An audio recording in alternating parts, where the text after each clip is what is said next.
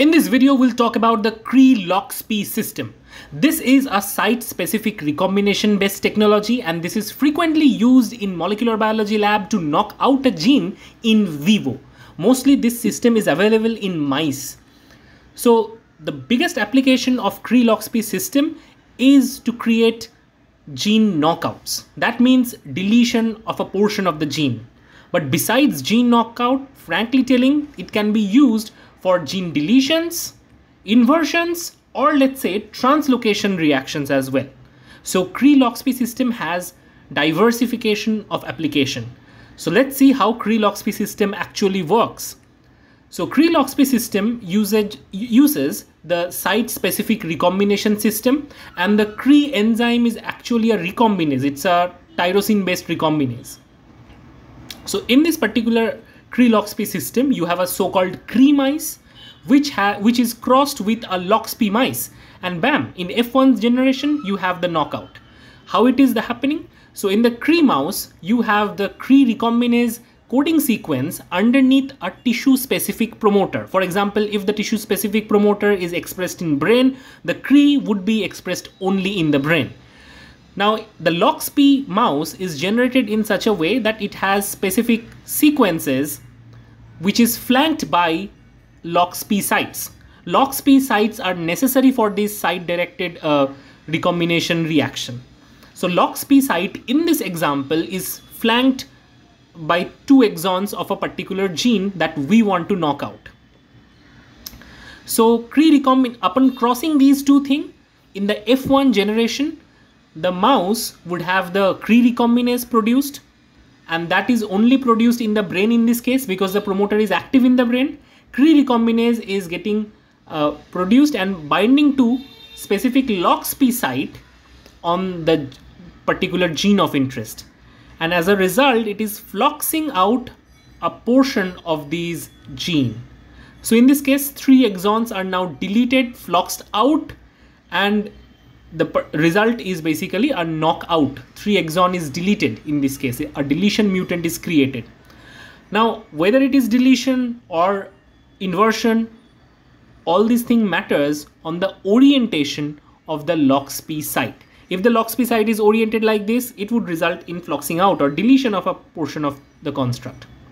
So what is site-specific recombination actually? Site-specific recombination, as the name suggests, this is a recombination reaction which is directed by specific sequences, which is known as recombination recognition sequence, let's say. So how this recombination reaction works? Obviously, it is enzyme based. So Cre enzyme is basically a tyrosine based recombinase. So be tyrosine based recombinase or serine based recombinase, it would have a hydroxyl group, which is a source of nucleophile. It would attack the phosphate backbone and create a enzyme DNA hybrid. Eventually, it would uh, create the strand passage and the reaction by this. If you want to learn more about site-specific recombination and how does it work, you can click on the video in the i button or in the description. But anyway, let's see how these Cre mouse are generated or the LoxP mouse are generated. So the Cre construct is actually injected into the fertilized egg. So in the, in the pronucleus of the fertilized egg. So the Cre construct has Cre recombination, Cre recombinase sequence underneath the tissue specific promoter and this is loaded onto a transposon based vector such that it can stably integrate into the genome at very early stages. Now the zygote is injected in the mouse. The zygote would eventually form the embryo. It would uh, develop like a normal embryo and ultimately this mouse would give rise to the transgenic Cre mouse and the, the transgenic line is born. It would be now crossed and maintained as a Cre stock. Similarly, using a similar transgenic approach, one can generate the LoxP mouse as well. Okay, now let's talk about the applications of Cre-LoxP system this has a widespread active uh, applications. One of the first application is creating gene knockouts. So people call it conditional knockouts. Let's say you want to understand how a gene X regulates brain development. So obviously you, you should make a mutant from a classical point of view. But what happened is due to the mutation of gene X, the animals die. They didn't even survive to the mature state Why is that? Maybe gene X is required for some important function in the liver. So that is why it is lethal. So, but your question is dedicated to the brain. You want to understand that what really happens when gene X is selectively gone in the brain, not in other portion of the body. That is why Cree-Loxp system is really useful because Cree-Loxp system gives you a spatio-temporal control uh, by using the tissue specific promoter and that is how the conditional knockout concept is coming into the picture. So the Cree has the promoter which is tissue specific and the LOXP site flanking the gene is present in all the portions. But the recombination reaction is happening especially in those tissue where Cree is active. Now this is a spatial control but what happens to the temporal control? In order to have a temporal control the Cree ERT2 system is used in the Cree ERT2 system, we have uh, a Cree ER mouse. In this Cree mouse, along with the Cree uh, sequence, the ligand binding domain of estrogen receptor is also cloned. So in the protein state, you have a Cree and estrogen receptor ligand binding domain fusion protein. Normally, without the presence of estrogen or tamoxifen, so what happens is the uh, entire receptor complex is inhibited by HF, the by uh, HSP90. So in this case, you can see it in the blue. So even if Cree is present, in this case, Cree cannot act because it is inhibited by a heat shock protein. But when we inject this same mouse with tamoxifen, which acts like a ligand for these uh, estrogen receptor, it leads to the dissociation of the HS uh, uh, heat shock protein 90 that leads to the Cree activity.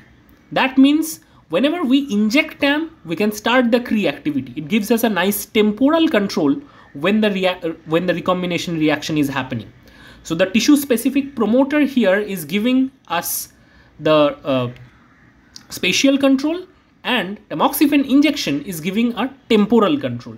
Thereby using Cree-Loxp system one can achieve a spatio-temporal control of gene expression or let's say gene knockout. Second, this Cree-Loxp system can be used to uh, do lineage tracing experiments or simply put, label some particular cell types or category of cells. Let's say you have a particular reporter gene, in this case TD tomato, it can be GFP as well. Anyway, the reporter gene has a stop cassette marked here in green and it, it is flanked by the LOXP sites. So normally in this particular mouse, there would be no reporter expression because there is a stop cassette, right? But when it is crossed with a tissue specific uh, uh, promoter containing Cree, it would be activated upon Cree mediated recombination. So Cree mediated recombination would flux out the stop cassette. And now the entire coding sequence would be transcribed and translated. Production of re reporter gene is happening. That would label specific cells in red and this is how we can really label a specific subtype of neuron or let's say a class of neuron in a mouse brain or any other organ. It only requires a organ specific or tissue specific Cree. Now, um, using this sequence, you can label subpopulation of neurons. For example, let's say you want to understand what happens in what happens into the dopaminergic neuron when you treat it with a drug or some kind of mutation happened, what happens to selectively the dopaminergic neuron population, not other neurons. So in this case, you have a tyrosine hydroxylase promoter, which is very selective to dopaminergic neuron, which produces dopamine. Anyway, underneath that, you have a, a membrane bound uh, CD8 GFP reporter. And again, it's a stop flux reporter. That means it has a stop codon in the reporter gene so Cree-mediated recombination would level those cells which are dopaminergic. It won't level any cells which are serotonergic or glutamatergic because this particular promoter is only active in dopaminergic cell. Now obviously this particular uh, reporter line is marking all the dopaminergic neurons. So we can quantify the morphology of these neurons. So let's say we have a control set and we have treated it with a drug XYZ let's say. And now we want to understand what happens to the neuronal morphology, what happens to the neuronal properties. All these questions can be answered using the Cree-Loxp system.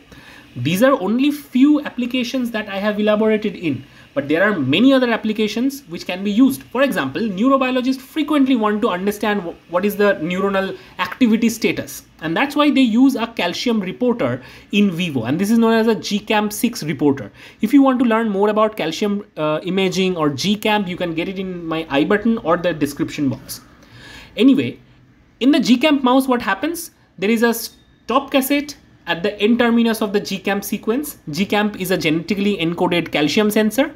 So when there is a Cre-mediated uh, recombination, it leads to the transcription and translation of GCAMP. So GCAMP fluoresces when there is calcium present in the neuron and it indirectly reports the neuronal activity. So when the neuron is firing, GCAMP would also show enhanced fluorescence.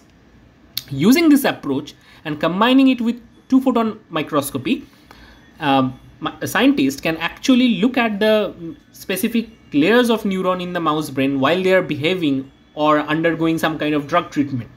So this is how Cree-Loxp system is very useful for multitude of application. So I hope this was useful. So in summary, I'll say what is Cree-Loxp system? We learned it's a site-specific recombinase-based technology.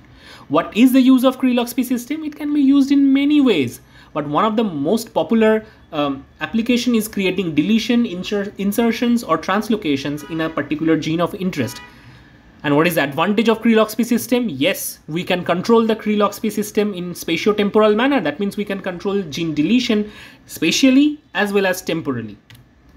But what is the disadvantage of this Cree-Loxp system? Sometimes what happens is the Cree-Loxp system is leaky. That means even if a particular promoter is not expressed in a particular tissue, Cree is active in that tissue. So that is a often problem using Cree-Loxp system. So I hope this was useful. You can get more notes and flashcard in my Facebook page or in my Instagram page. Links are provided in the description. You can support my channel using super thanks option. Your small contribution as small as let's say 50 rupees would be really useful for us. You can pay via PayPal, Paytm or UPI. See you in next video.